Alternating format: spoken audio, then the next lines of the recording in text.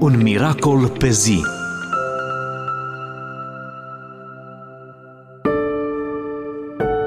O răsplată te așteaptă.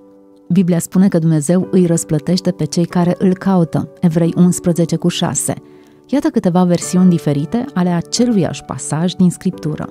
Și fără credință este cu neputință să fim plăcuți lui, căci cine se apropie de Dumnezeu trebuie să creadă că El este și că răsplătește pe cei ce-L caută.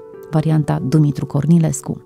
Și fără credință nu este cu putință ai plăcea, pentru că cei ce se apropie de Dumnezeu trebuie să creadă că El este și că este răsplătitorul cerul cel caută. Și fără credință nu este cu putință ai plăcea, pentru că cel ce se apropie de Dumnezeu trebuie să creadă că El este și că este răsplătitorul celui cel caută.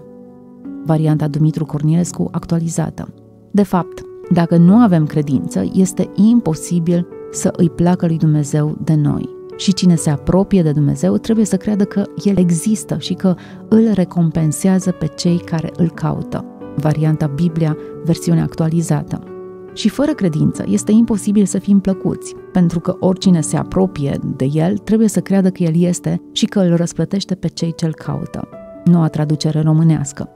În acest verset Dumnezeu îți cere două lucruri, să crezi că El există și să-L cauți. Cum să-L cauți? Când vrei să cunoști pe cineva, te duci în locurile pe care le frecventează persoana respectivă. Stai de vorbă cu oamenii care îl cunosc, îi citești postările, îl abordezi pur și simplu. Dacă vrei să-L cunoști pe Dumnezeu, du-te la biserică, stai de vorbă cu oamenii care trăiesc aproape de El, citește Biblia, vorbește cu El și roagă-L să te ajute să înțelegi mai multe despre El. El promite să îi răsplătească pe cei care îl caută cu consecvență. Ce s-ar întâmpla dacă l-ai căuta și mai mult? Mulțumesc că existi!